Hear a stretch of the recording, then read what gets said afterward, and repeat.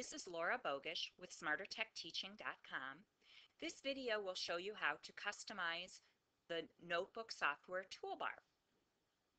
It's very easy.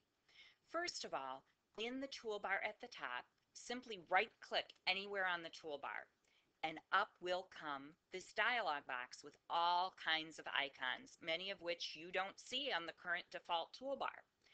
All you need to do to add items is simply drag the item that you wish to place on the toolbar up to the toolbar and you can put it in any location that you would want that makes sense to you. You can also reorder the items that are currently on the toolbar if you would like to put them in a different position.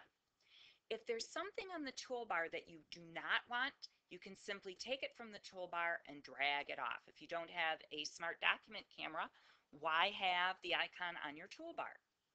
Once you have the toolbar looking the way that you would like it to look,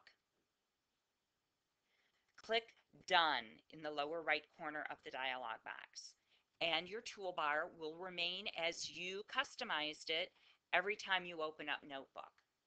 If you would ever like to restore it to default, again, simply right click on the toolbar and in the lower left corner, there's a button that says Restore Defaults.